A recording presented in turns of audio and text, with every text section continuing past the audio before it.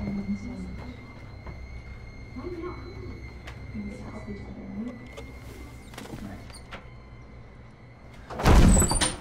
the hell, Eli? Don't what the hell, man. Okay, look, what did you say to the cops? I just came from the station. They questioned me for like three hours. Yeah, I told them the truth. I think you're obsessed with Emma, and I think they should check you out. That's funny.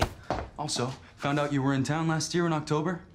Why didn't you tell me? I, I figured you were busy. I just heard Lakewood was nice in the fall. Thought I'd pay a visit. Hey, just stay away from Emma. Look, I'm not scared of you, okay? And I'm gonna do whatever I want. Try and stop me.